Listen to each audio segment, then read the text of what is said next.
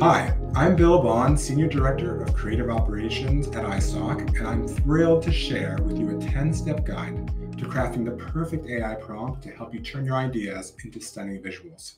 Let's get started. The first step in creating a great prompt is protecting your creativity.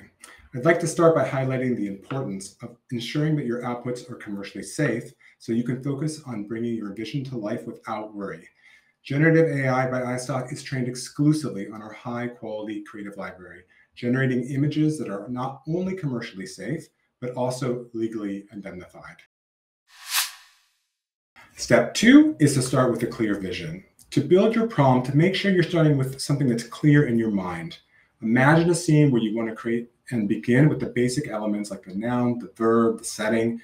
And let me show you an example of how I'll take those basic steps and begin to build my prompt. And before I start my prompt, let me give you a quick tip.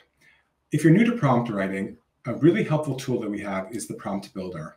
By clicking on this area, you can see our panel that allows you to quickly input your subject, your action, your surroundings, and the visual aesthetics you want to see, and then hit build to quickly create a prompt. I'm going to start by with not using the prompt builder though and go right to building my own prompt. And I'm going to start with a woman who is standing on a busy New York City street. And I'll hit generate.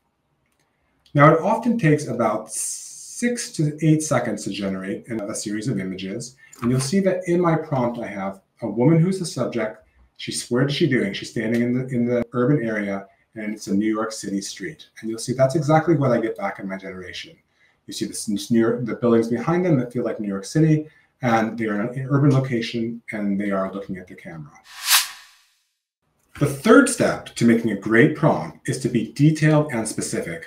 Don't be afraid to add lots of detail. The more specific your prompt, the more precise the output is. Think of it like telling a story where every detail counts and you will get exactly what you want by being very descriptive. Here we are back at the page, and I'm, here's the prompt that we've been working on, a woman who is standing in a busy New York City street. So now I'm going to get more detail in my description of what I want to see. So I'm going to take that same basic idea and add additional detail. Now it's a pink haired woman who is standing in the busy New York City street. She wears a purple scarf. Let's hit generate. The AI generator works really great with additional detail. And I personally found that things like color, clothing items, accessories will really come through in your generations if you prompt them. And here are the results that we see. The woman has purple, uh, pink hair. She's wearing a purple scarf, and she's in New York City. So adding this additional detail helps the AI generator know exactly what you want and helps you build a better prompt. But let's not stop there. Let's go on to the next stop and make this prompt even better. Step four to making a really great prompt is making sure you really describe the environment that you want to see in your generation. Describing the, the environment can completely transform your generation. So let's take the prompt that we've been working on and get into greater detail there. Okay, here we are back at the generator page. And here's our prompt. Let's add additional detail to the environment to make sure that we tell even more of a story. So now we still have the pink-haired woman wearing the purple scarf, but now we have more description. It's nighttime. It's on the city streets. It's recently rained, and there are people out of focus walking in the background. Let's generate and see what we get. When I'm prompting a detail like this, I almost like to put myself in the seat of a person writing like a short story. I find that if I can kind of speak in that tone, the generator offers really great results. And here you'll see that the prompt continues to improve. You see those wet streets, you see the shops behind her, you see the glowing lights. And we're getting more to more to where we want to be to get to our final results.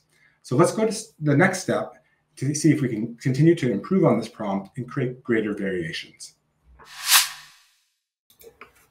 Step five to writing a great prompt is knowing and highlighting your key elements.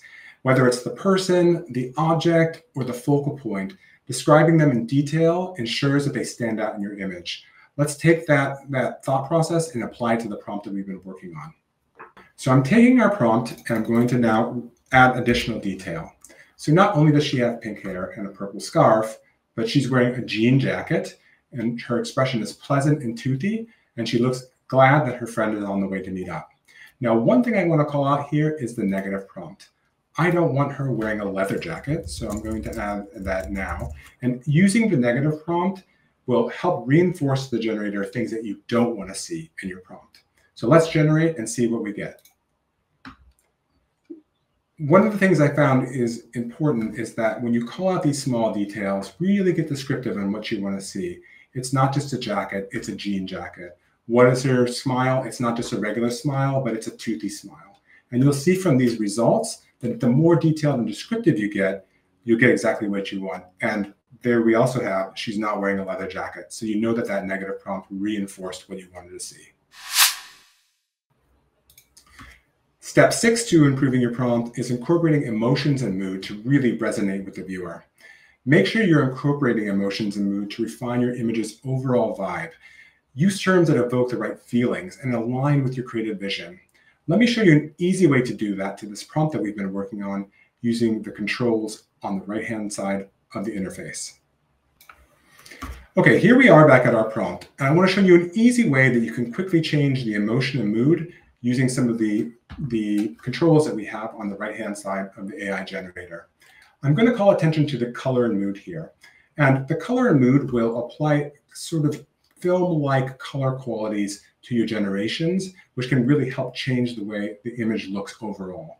So I'm going to select the bold. I really like the way that bold adds color to the picture, to the generations. You'll see here that once you add it, it will be at the top near your prompt and you hit generate.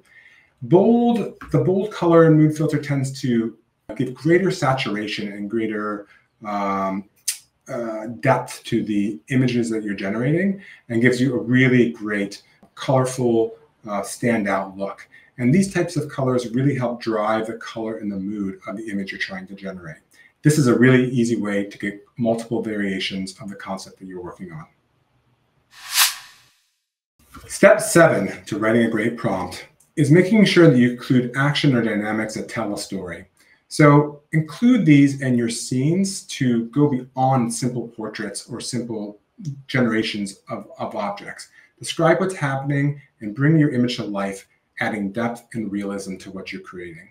We're going to take our same prompt, but we're going to add a little more detail. So I really like where this is going with the bold uh, color filter and the long descriptive prompt, but she really needs to be doing something to really connect more with my, my customer the people looking at this generation. So I'm going to add in that she is holding and looking at her mobile phone while texting to her friend. It seems like a simple action, but it's one that will give a greater story to what you're generating and go beyond simple portraits and give you something that customers and your audience can connect with because they see it in their own day-to-day life.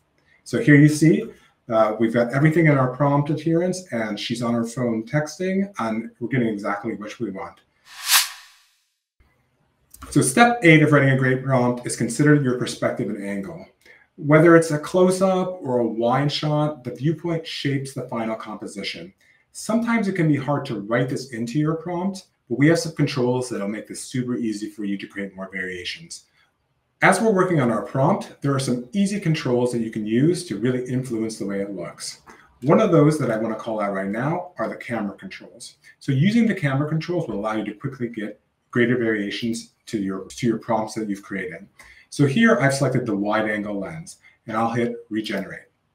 So with the wide angle lens in photography, this tends to make the subject that's in the foreground larger while making the background seem to kind of go off towards into infinity.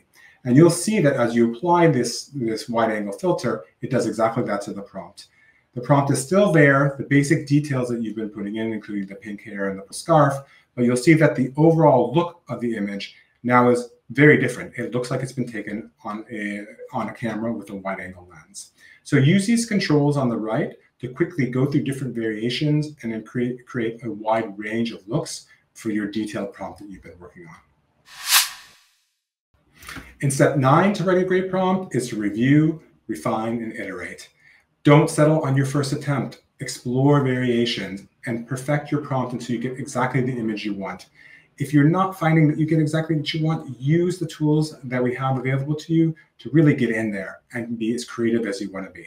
Let me show you some of those tools now.